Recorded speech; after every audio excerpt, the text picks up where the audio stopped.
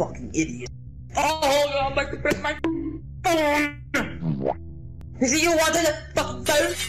Holy shit!